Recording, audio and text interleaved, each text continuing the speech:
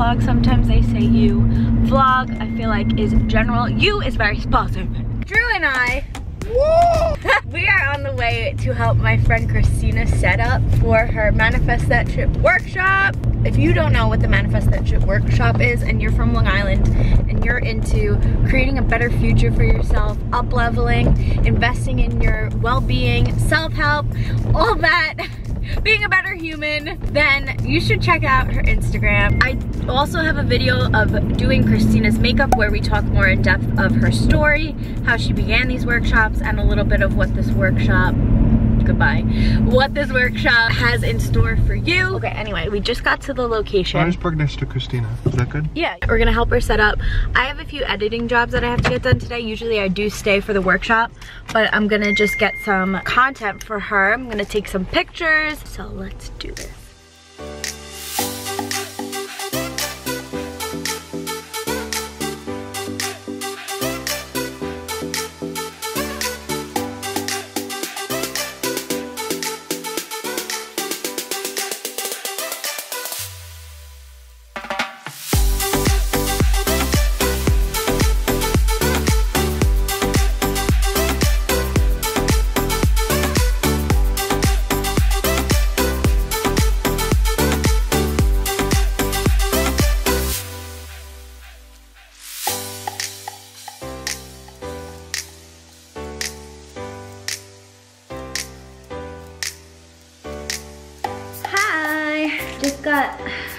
back home. It's one o'clock now. I didn't stay for today's workshop because, well, one, I've been to quite a few of her workshops already, but also today I have to get a lot of editing done and her workshops go until five. I only have so much time before the deadlines of these, so probably pop back in and take some photos of the attendees at the workshop. Oh, I feel like I slept so wrong last night. My middle back is like so stiff. I really need to stretch. I might do some yoga today. It's been a while since I've done yoga. I just feel like today I need to center. They started off the workshop with a meditation and I was taking pictures so I didn't participate in the meditation though I've done it before in the other workshops.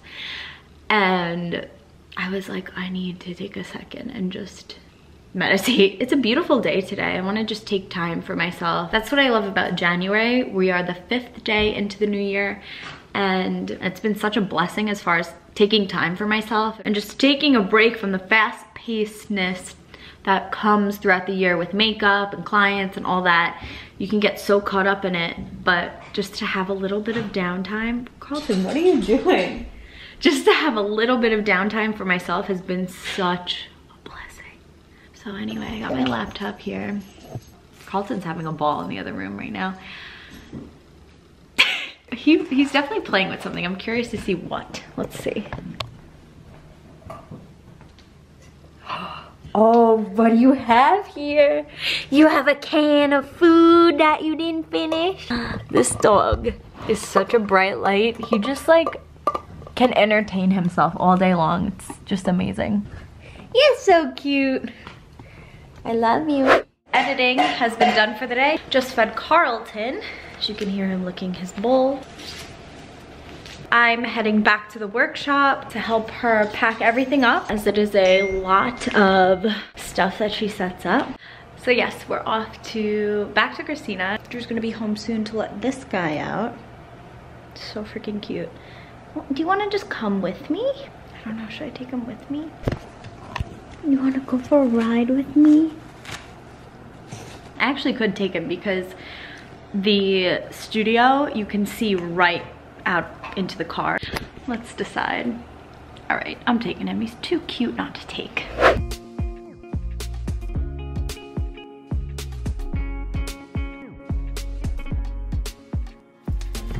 Okie dokie folks, the sun like literally went down as soon as I got in. It's not that much later. We are going home. You did so good, baby. He's so good, I kept popping out, checking on him. Can I just say it was amazing walking in at the end of that workshop. I am very empathetic. So like I can feel tension in the room and I can feel, uh, I can feel a lot of shit. And I didn't understand that until probably the past year and how to harness it and like what that was. I honestly thought that everyone could feel everybody's emotions and stuff like that. But I learned like it's actually a term, empath. So all my empaths out there, shout out to you. With that being said, like when I walked into the room at the end of the workshop, you could just in feel 1,000 feet, turn right. this beautiful transformative energy.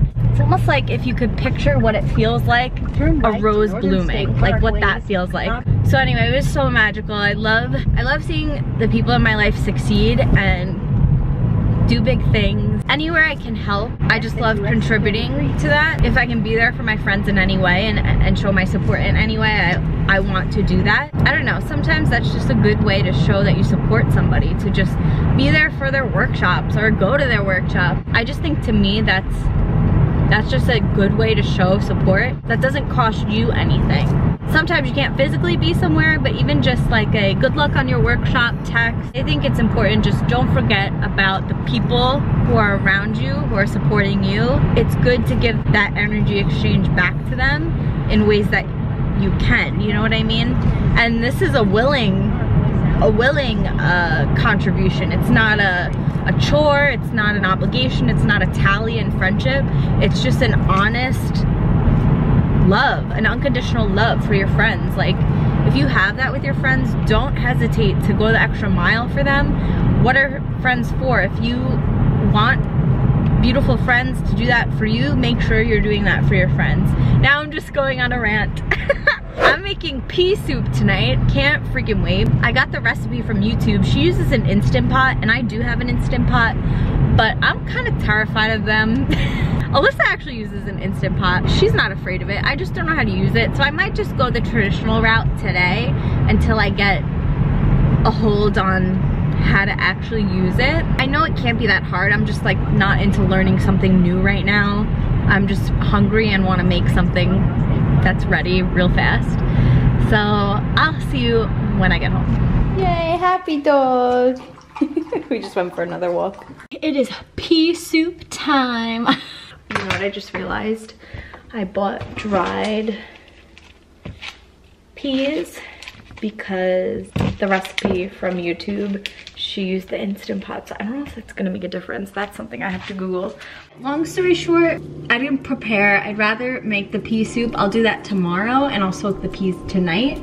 So I just looked in my cabinet. I have garbanzo beans, this tikka masala simmer sauce. I'm very semi-homemade, so I buy the sauce already done. I've never tried this before. I'm sure it's not as good as homemade. I love Indian food, so I'll definitely know the difference. But sometimes you can throw more seasoning into these things and it'll amplify it. So I'm just gonna simmer these together for like 10 minutes. And then I have some naan and brown rice and spinach that I'm just gonna put in a little bowl with this and have some butternut squash soup on the side. A quick little tip too, if you wanna start incorporating more vegetables that I like to do is bulk up traditional meals with it. So for example, if you had some kale, you could throw it in here.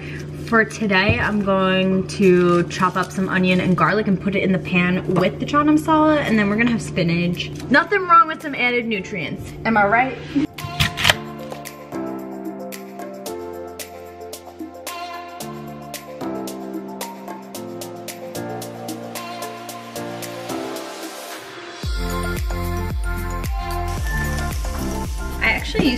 Not like onions, but when I went full vegan, I started ordering foods that I didn't like to train my taste buds because I knew I was gonna be limited on options. I also grew up a really picky eater, so I would never order anything with onions, tomatoes, raw veggies, nothing like that in it. I'd be very plain Jane. So if that's you, just know that you can train your taste buds. Don't be afraid to try new things. I definitely was at first, and I learned to really like a lot of really delicious foods that I was literally depriving myself from by not trying it. So onions is an example of that. I discovered I don't like raw onions. Cooked onions, they're not as potent, so, so I'm just browning the onions so that they get some color.